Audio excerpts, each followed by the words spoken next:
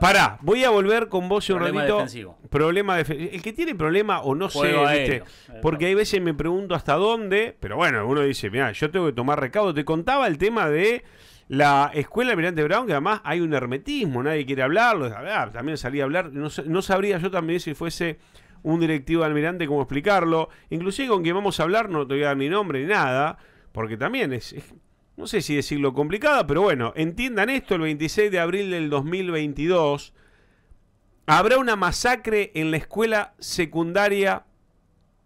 Están avisados. eh, es la advertencia que autores eh, así lanzan de la escuela, anónimos, vamos a llamarlo, a la escuela de a- a- Almirante Brown.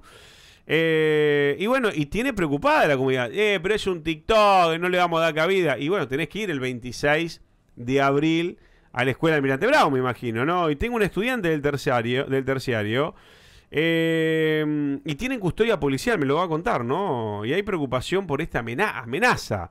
Es de TikTok, ¿hasta dónde le podemos dar bolilla? ¿Podemos dejarla pasar? Porque si la dejamos pasar y después pasa algo. Bueno, no, sin nombre, saludo, ¿no? A, a quien está del otro lado, negro Velázquez. ¿Cómo estás?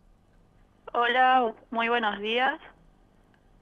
Buenos días para, digo, para vos, ¿cómo están ahí en la, en la, en la escuela? Estoy viendo la, la imagen de la escuela, más la, la, la gráfica, el 26 de abril de 2022, habrá una masacre eh, en la escuela Almirante Brown, dice, bueno, escuela de Santa Fe. ¿Cómo lo tomaron?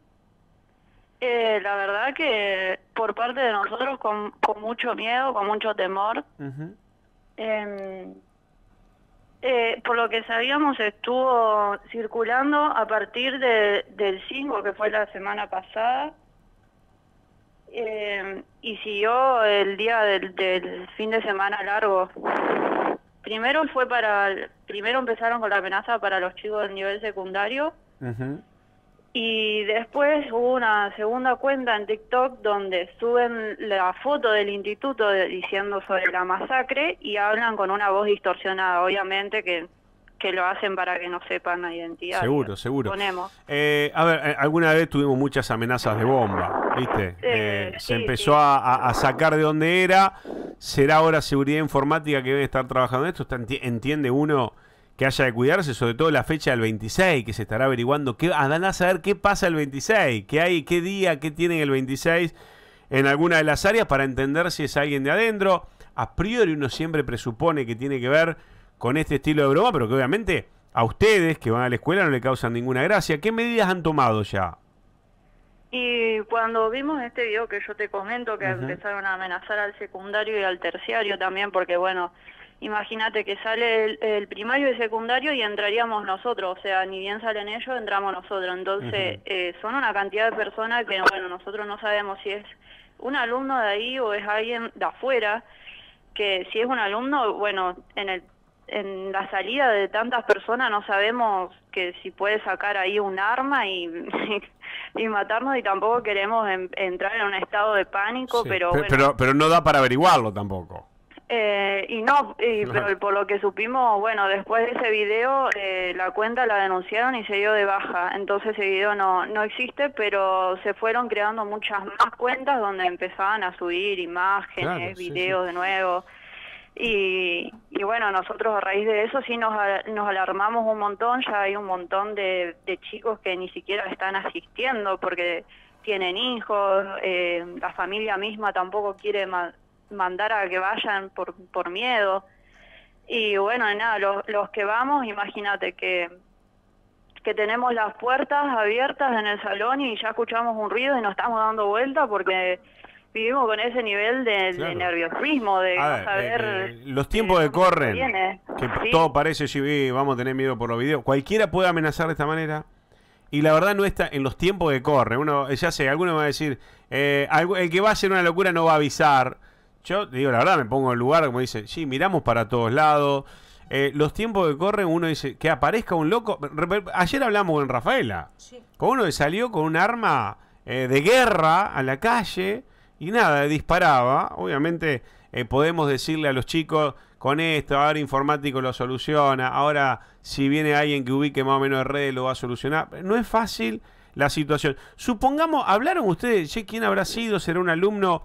Eh, ¿qué, Eh. qué sanción debería caberle? ¿Cómo será la cuestión si llegan a agarrar al autor de estas amenazas. ¿Se habla de eso o no, no tienen, a ver, no tienen una postura como alumnos, digo, tomado, eh, ustedes qué, qué, qué podría o qué debería pasar con un compañero que haga esto?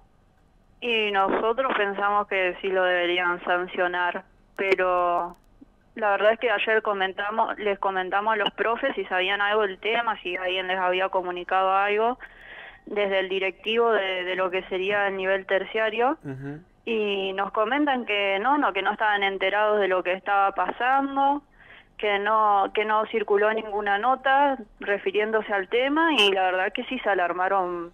Claro, porque el que no está en redes y el que no sigue TikTok y eso se está enterando ahora, digo, de la nada, ¿no? Claro, y nuestros profesores y otros profesores que nos enteramos también eh, no saben absolutamente nada porque la escuela no, no, no les informó. Y obviamente que sí, les agarró temor a ellos también, algunos se disgustaron porque no, nos están exponiendo a que vayamos, porque si bien no se sabe si, si va a pasar o no, pero si pasa, la escuela tampoco cuenta con, con, un, con una seguridad. Ahora, ayer fuimos y estaba la patrulla afuera de la escuela. Están avisados, dicen grande. A ver, uno va a decir, mañana va a agarrar otro alumno, o, a ver, especulando que sea un alumno cualquiera, hace otro más y hay que volver a faltar, y después hacen otro más y hay que volver a faltar, y dice, esto es una locura. Pero bueno, eh, no, la verdad que es una situación complicada, porque uno dice, esto es, yo, desde mi lugar, con mi con las épocas donde uno iba al colegio, dice, esto es una broma, las bromas que hacen hoy los pibes. Pero hay que ser uno de los pibes que va a cursar, porque la verdad que hoy en los tiempos que corren, eh, y no quiero, no quiero asustar a, no, no voy a decir el nombre, ¿no? De la, entrevistada, pero ayer, ¿sabes que lo escuchaba Laurita Pipa en la tarde?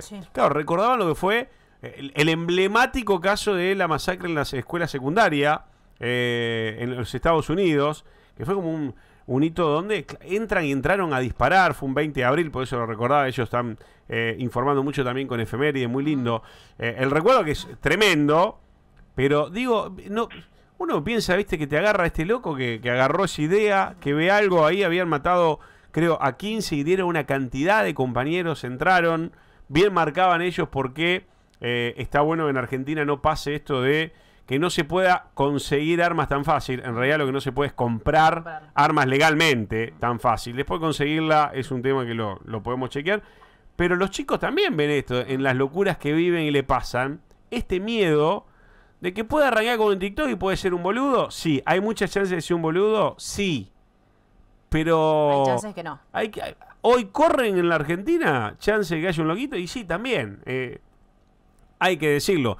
Eh, ustedes saben que está la, la, gran posibilidad de que sea un compañero medio boludo, ¿no? Saben eso. Eh, sí sabemos y hay otra de las cuentas, como te decía, que reunió un montón de seguidores que es donde estuvieron subiendo últimamente todos los videos y hay comentarios de gente que los está alentando a que filmen la ah, que suban imágenes del hecho, que lo transmitan en vivo. Y lo peor es que el dueño de la cuenta, que obviamente no sabemos quién será, si actúan uno solo, si actúan en grupo, porque por ahí pueden actuar en grupo también. Eh, no saben, eh, les responde y les dice que sí, que, que eh, bueno, el último comentario que puso es que mañana nos, nos iban a estar dando un aviso sobre que iba, eh, sobre que el día 26 iba a ser el último día que todos abramos los ojos. Y la verdad que... O sea, hay gente que lo fogonea, ¿viste? Yo, ¿qué hacemos? Te lo pregunto, lo habrán hecho ustedes, ¿qué hacemos cuando leemos? Sí, háganlo, entren, chequeamos a ver qué tan real es la cuenta. Muchas veces hacen comentarios personas reales de vidas irreales, de vidas que todo lo que hagan. Se enojan con la escuela, al, rato están enojados con el fútbol, después están enojados con, con API, después se enojan con el correo argentino, quieren matar a todo. ¿Hay gente de esa? Sí, hay gente de esa. Es mucha, no, pero alcanza para que te comas un garrón. ¿Han chequeado ustedes aquellos que lo alientan y dicen, transmitan en vivo si van a hacer una masacre? Que uno puede estar haciendo una boludez y otro le contesta eso, hay que ir a buscarlo ya. Digo, la policía informática hay que buscarlo ya.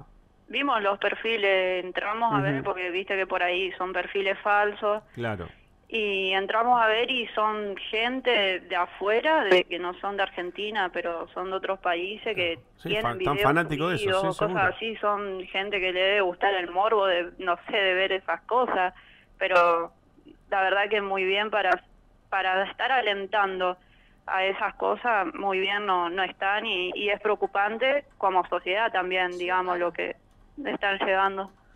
Qué locura la que estamos viviendo, ¿eh? Y hay que estar atentos, ¿eh? Porque los chicos saben que lo que nosotros veíamos muy lejano, ¿no? ¿quién va a venir armado? Capaz que muchos de ellos ya se cruzaron con un compañero con un arma.